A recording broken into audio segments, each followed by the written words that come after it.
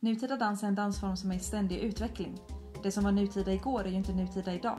Men nutida dans ingår i genren modern dans, vars tradition sträcker sig tillbaka till början av 1900-talet och den era som brukar kallas modernismen. Mycket har dock hänt sedan dess. På 120 år har genren utvecklats på olika sätt på olika geografiska platser och blivit ganska spretig eftersom den hela tiden ifrågasätter vad dans kan vara. I europeisk nutida dans eftersträvas smidighet, uttrycksfullhet och kontakt med golvet. Att disponera rum, tid och kraft är viktigt.